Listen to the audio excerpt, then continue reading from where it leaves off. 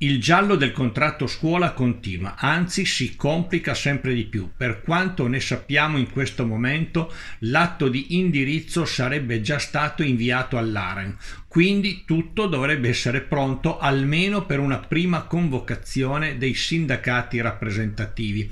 Per ora però non è ancora previsto nessun incontro, anche perché l'AREN è impegnata con il contratto del comparto degli enti locali tanto che c'è chi parla di apertura del tavolo non prima di maggio o giugno.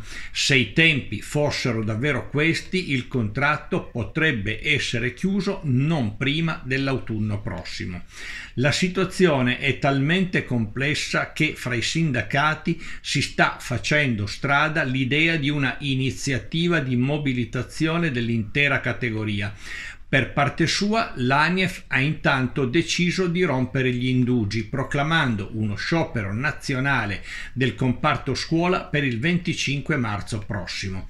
I motivi, per la verità, ci sono tutti. I soldi a disposizione, come abbiamo più volte scritto, sono pochi, anche se per la verità sono assolutamente allineati alle risorse stanziate per il restante pubblico impiego ma il problema, come è ormai noto, è che gli stipendi del personale della scuola sono mediamente i più bassi di tutta la pubblica amministrazione e questa tendenza è difficilmente superabile per via contrattuale, almeno fino a quando le risorse complessivamente stanziate continueranno ad essere definite facendo un calcolo percentuale uguale per l'intero pubblico impiego.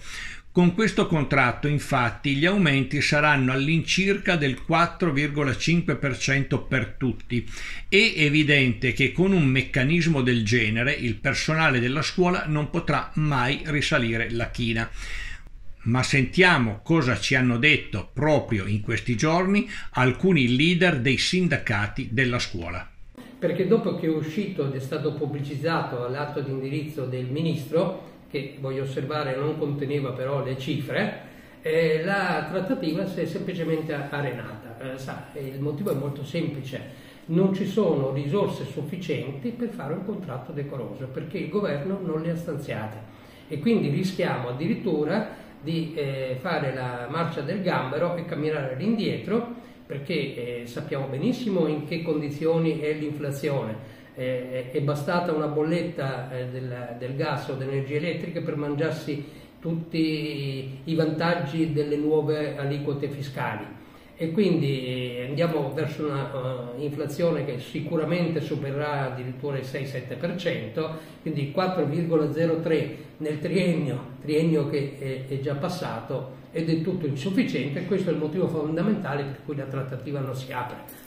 Chiediamo più risorse anche perché c'era stato promesso nel patto che abbiamo firmato a Palazzo Chigi nel mese di maggio che avremmo avuto del, del delle risorse in più, era previsto un aumento a tre cifre, questo non c'è stato.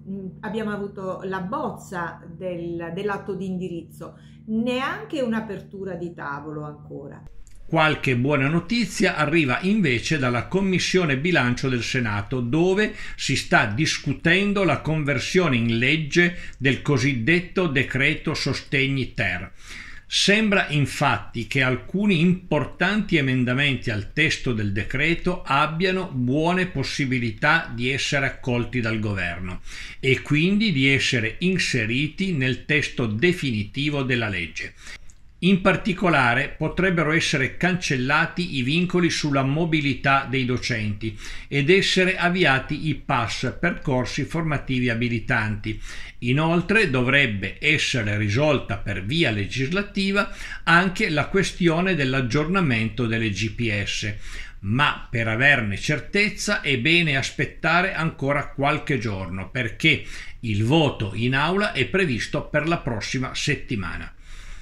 Ovviamente su tutto questo noi continueremo a tenervi informati, quindi seguiteci su questo canale, ma anche nel nostro portale www.tecnicadellascuola.it. Scriveteci, mandateci le vostre osservazioni, i vostri commenti, noi ne daremo conto come di consueto.